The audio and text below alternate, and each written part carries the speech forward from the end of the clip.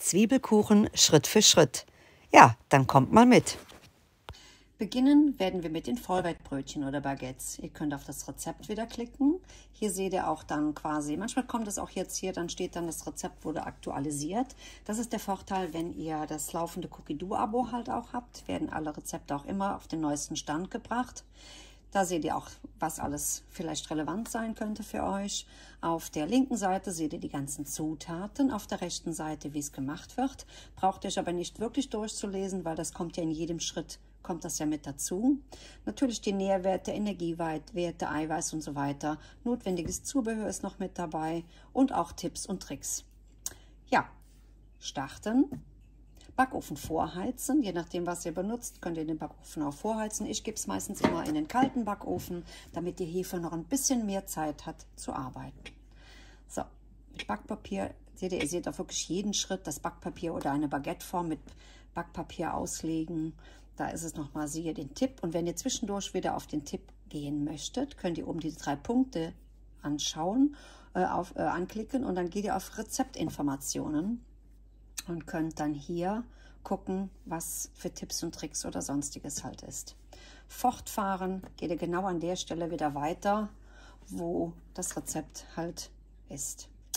So, 100 Gramm Weizen oder Dinkelkörner oder sonstige Körner in den Mixtopf geben.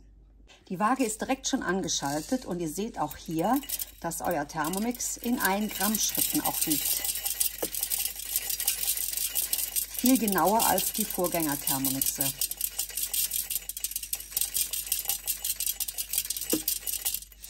So, zwei Gramm noch. Wenn ihr ein bisschen zu viel drin habt, könnt ihr es entweder entnehmen, dann würde der auch wieder zurückrechnen. Ich zeige es mal gerade, wenn ich das entnehme. Seht ihr, dann würde das auch wieder zurückrechnen. Dann geht ihr weiter. Deckel drauf. Weiter. Alles ist, wie gesagt, wieder eingestellt. Hier steht Wähler auf 10 drehen. Das ist euer Wähler und hier seht ihr auch, die Linie ist komplett grün bis oben hin, auch nochmal als sichtbares Zeichen, wohin ihr müsst. Einfach nur drehen. Ich gebe persönlich die letzten 10 Sekunden noch ganz gerne ein Stückchen Knoblauch oder auch Möhrenstücke mit dazu. Kann auch gerne Ingwer sein oder sonstiges. Dann hat dein Teig auch ein ganz, ganz tollen, äh, tolles Aroma. Ein Seht ihr, euer Teig sieht ja nicht mehr so langweilig aus, hat auch zudem ein ganz tolles Aroma. Und ihr müsst natürlich, wenn ihr jetzt Möhren zum Beispiel drin habt, den Teig noch etwas auflockern, weil die Feuchtigkeit der Möhren verklebt ganz gerne den Teig. Weiter geht's im Originalrezept. Jetzt kommen noch 400 Gramm Weizenmehl dazu. Dann anderthalb Teelöffel Salz, 220 Gramm Wasser, 40 Gramm Öl, und einen Würfel Hefe.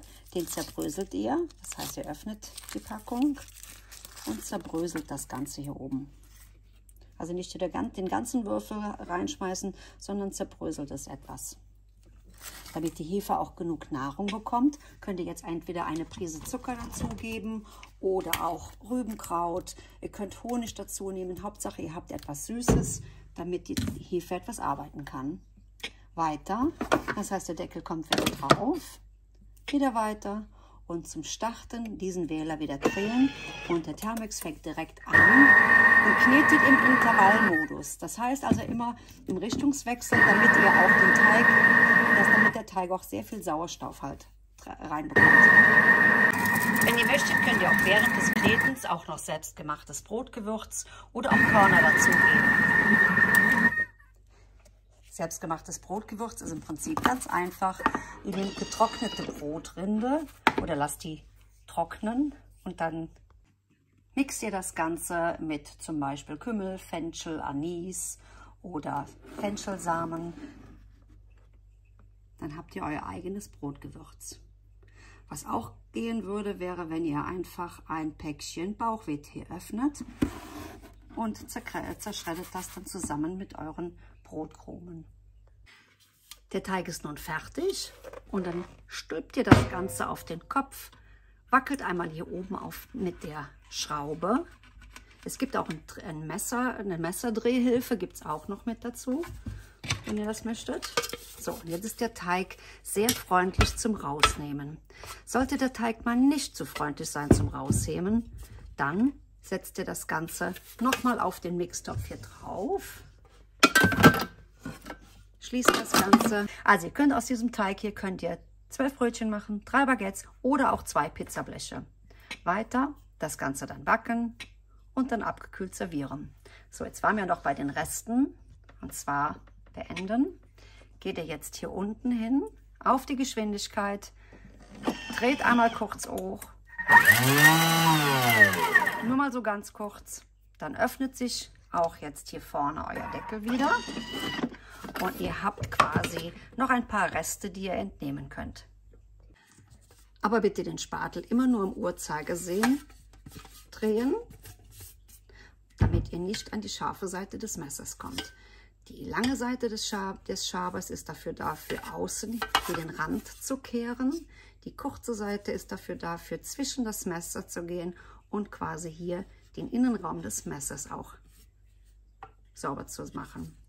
So. Was jetzt wichtig ist, jetzt hier, der hat noch nicht so die tolle Spannung, die wir jetzt brauchen. Das heißt, ihr knetet den ganzen Teig. Wer das jetzt nicht mit den Händen machen möchte, nimmt die Backmatte dazu.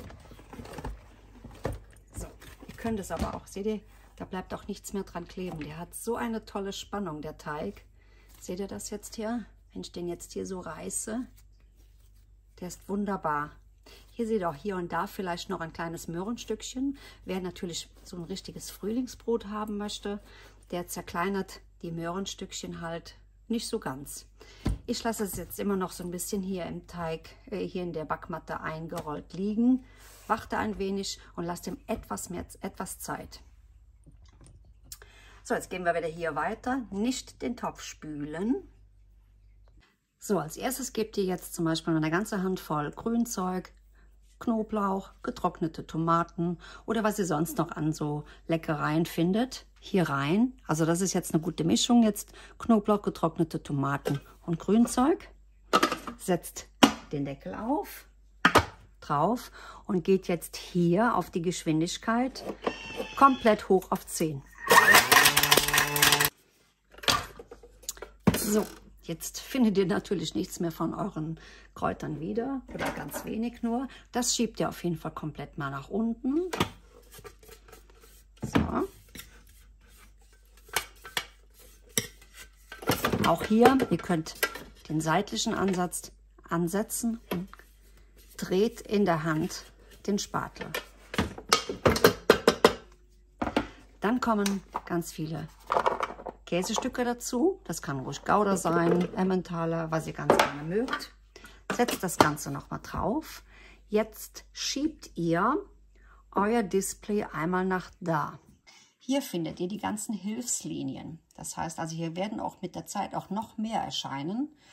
Da geht ihr dann, zum Beispiel, das ist jetzt die Waage, Teig kneten, Turbo vorspülen, pürieren, Eier kochen, Wasser erhitzen, erwärmen, andicken, Reis kochen. Das sind alles die ganz tollen Sachen, die euer Thermix zusätzlich noch als Hilfslinie für euch hat. So, ihr geht jetzt dann auf Turbo. Der Deckel schließt sich automatisch. Dann wird gefragt, möchtest du das eine Sekunde haben? Oder wenn nicht, wenn du das mehr haben möchtest, dann geht ihr mit dem Wähler und wählt zum Beispiel zwei Sekunden.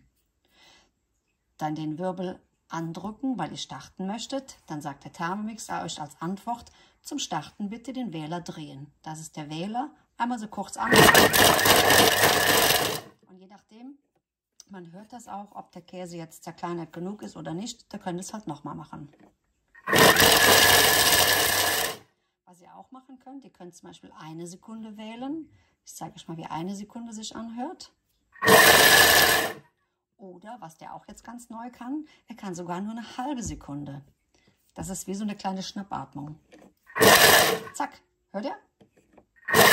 Und das ist dafür da, wenn der Käse einfach nur einen ganz kleinen Hauch noch braucht. Zum Öffnen des Topfes geht ihr immer wieder auf dieses Häuschen. Seht ihr? Das ist der Wahnsinn. Ihr habt eigenen Reibekäse. Das heißt also, da sind die Aromen drin, die ihr gerne hättet. Und Reibekäse mit Knoblauch oder jetzt getrockneten Tomaten mit Basilikum, Schnittlauch oder so, das könnt ihr einfach nicht kaufen. Das ist ein fix und fertig aromatische, aromatischer äh, Käse für eure Pizzen oder für irgendwas Überbackenes. Das füllt ihr jetzt um. Nun kommen eure Zwiebeln dazu. Ich habe ungefähr, wir können mal gerade gucken, wie viel ich habe, indem ihr auf die Waage geht. Ungefähr 172 Gramm. Das ist immer, je nachdem, wie viel ihr haben möchtet. Deckel drauf. So, dann geht ihr hier unten auf die Stufe 5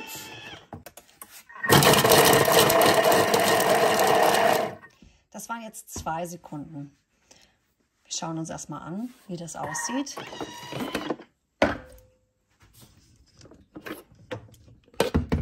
So, reicht in den meisten Fällen auch aus. Jetzt möchtet ihr anbraten. Dazu habe ich das auf äh, die Kochkollektion habe ich runtergeladen. Die ist natürlich ganz unten. Ich habe ganz viele Kochbücher runtergeladen. Das ist das Kochbuch Zwiebeln und Co.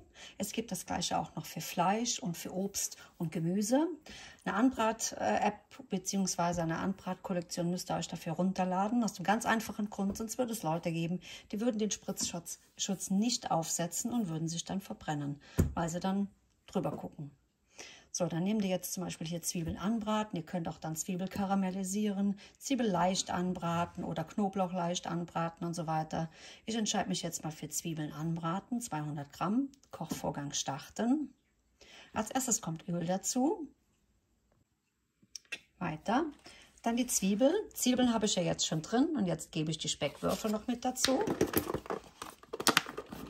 So. Weiter. Spritzschutz aufsetzen. Ihr drückt dann hier auf Fertig, indem ihr bestätigt, dass ihr diesen Spritzschutz hier oben aufgesetzt habt. Oben kommt er drauf. Dann braucht ihr hier unten, braucht ihr dann nur noch auf Weiter zu gehen, weil ihr seht jetzt hier unten, ich gebe nochmal gerade runter, ihr seht jetzt hier, dass die Zeit angegeben ist mit Maximaltemperatur bei 160 Grad, das wäre die, und den Wähler einfach drehen. Dann passiert erstmal gar nichts. Das heißt, er dreht, er checkt auch ein bisschen ab, ob ihr euch auch ans Rezept gehalten habt, von der Menge her. Das mit der Zeit, das ist auch auf dem Herd genauso. Dass, wenn ihr jetzt zum Beispiel Zwiebeln auf dem Herd anbratet, dauert das auch manchmal etwas länger, je nachdem, wie feucht die Zwiebeln sind. So, bereits noch keine 30 Sekunden sind vergangen, dann hört ihr auch schon dieses, dieses Anbratgeräusch. Hört es zischen? Er dreht auch ein klein wenig, damit die Zwiebeln auch Zeit haben, auch braun zu werden. Das heißt, wird nur ganz wenig gedreht. Ihr werdet auch gleich hier sehen, also das ist jetzt verschlossen, ihr werdet auch hier gleich sehen, dass Dampf austritt. Ihr müsst ja den ganzen, die ganze Feuchtigkeit müsst ihr ja aus, diesen, aus den Zwiebeln rauskriegen. Erst dann kann durch Hilfe des Öls dieses Anbraten ja auch erfolgen. Das ist genau wie auf dem Herd auch. Da qualmt es und qualmt es und irgendwann ist der Zeitpunkt, da hört es auf zu qualmen und dann fängt erst der Anrostprozess an. Das dauert jetzt ein paar Minuten. Ich werde es auch nicht die ganze Zeit durchlaufen lassen, sondern gegebenenfalls etwas früher aufhören. So, in der Zeit können wir uns nämlich jetzt hier um den Teig kümmern.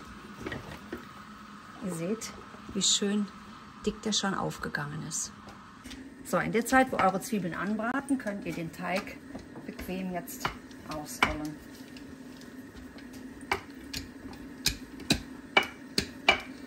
Ich hätte eigentlich noch 10 Minuten Zeit, aber mein Teig ist schon fertig. Deswegen könnt ihr das Ganze auch vorzeitig beenden. Es qualmt noch, das heißt also wirklich, da ist noch nicht alle Feuchtigkeit von raus. Ihr seht, was das jetzt schon schön anrutschelt.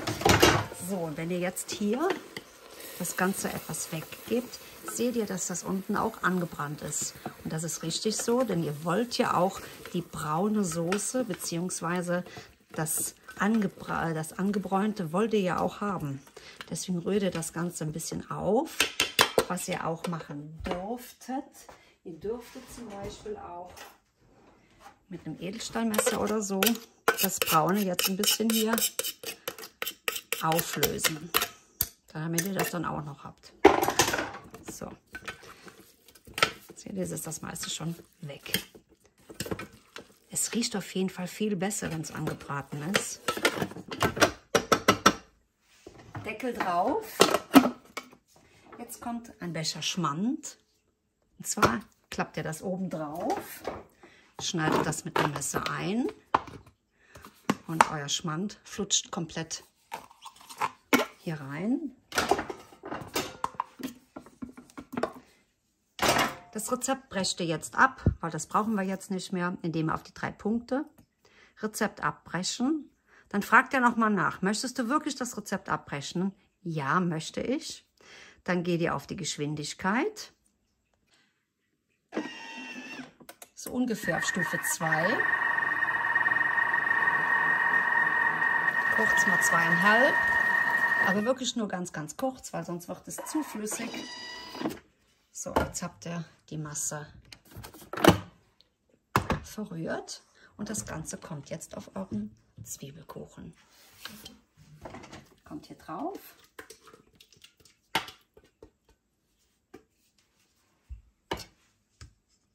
Hier sind noch Reste drin, das heißt, ihr gebt es nochmal drauf, Deckel zu und geht hier wieder auf die Geschwindigkeit. Ganz kurz mal auf Stufe 10. Wirklich nur ganz kurz. Dann öffnet sich das Ganze wieder. Moment. So. Und dann habt ihr das Messer dann frei und könnt mit dem Spatel die restliche Masse entnehmen. So, und jetzt kommt das Allerbeste euren Reibekäse von eben. Könnt ihr euch noch daran erinnern? So, den streut ihr jetzt ganz schön großzügig oder weniger großzügig hier drüber. Und das Ganze kommt dann wirklich in den Backofen auf ein Gitter, auf das unterste Rost von eurem Gitter. Ober-Unterhitze bei 220 Grad eine halbe Stunde. Und dann ist das Ganze fertig.